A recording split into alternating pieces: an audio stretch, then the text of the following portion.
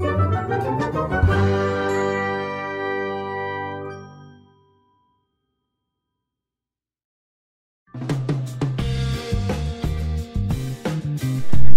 today I want to show you how I did the rust on my airsoft gun. Um,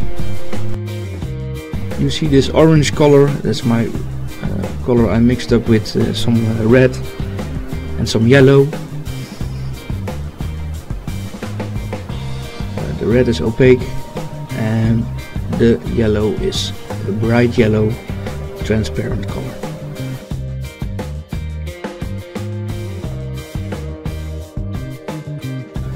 Then I made a darker rust color and it's made of uh, dark brown and it's got some uh, yellow and it's got some burgundy red.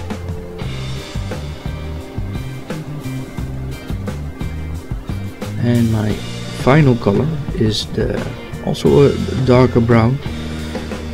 Basically made of red, red yellow and also this metallic uh, copper flake medium. So to give it a little sparkle.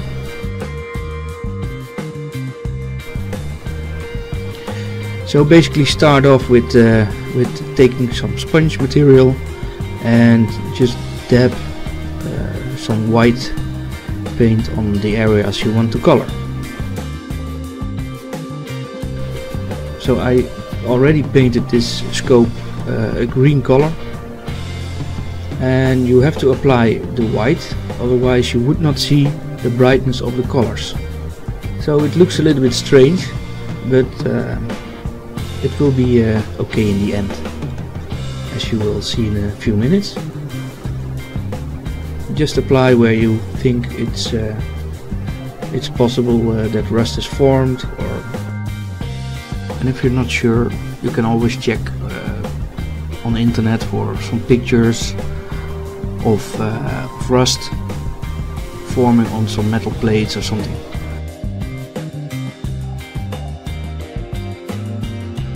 Then you uh, uh, can continue with the brown, put it also on the sponge and start sponging over the white.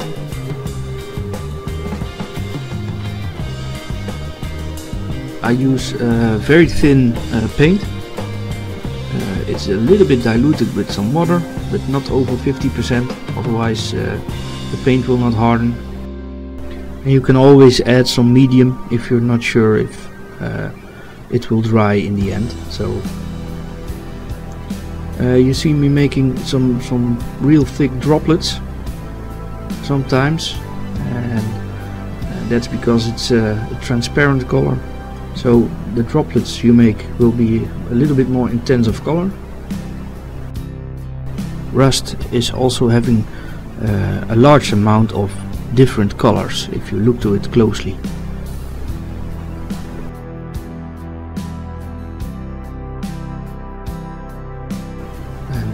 Dry it with a hair dryer in between all layers.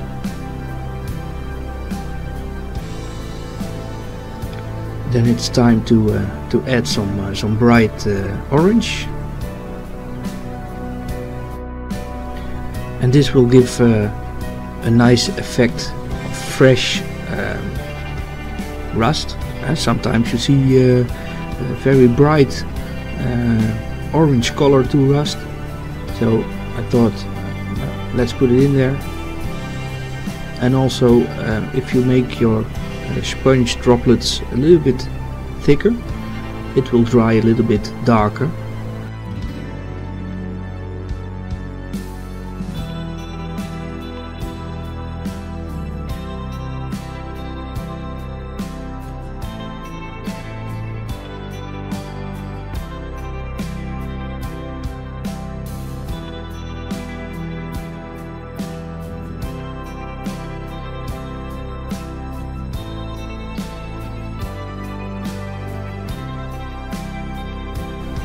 So the third color is applied uh, same way.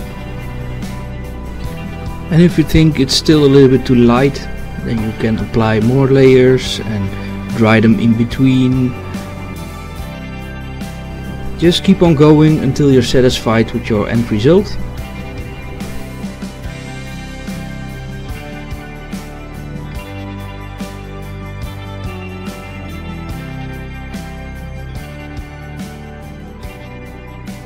And if you like to add some texture to the rust, you can apply uh, like this uh, silica sand uh, medium.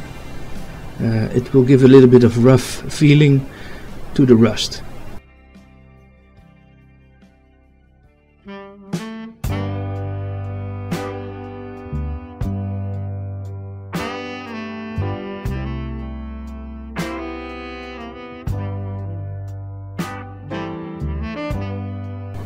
So it will take some time, but the end result is pretty neat.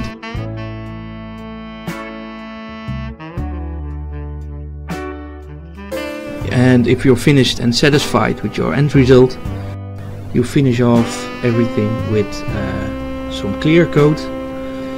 Uh, I used like this two component clear coat for cars and it worked pretty pretty well.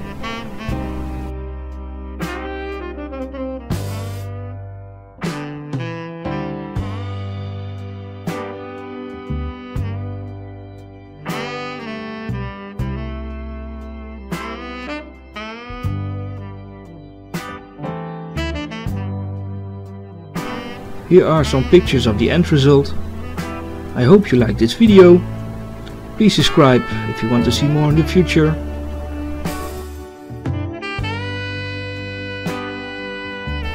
Thank you for watching. Until next time.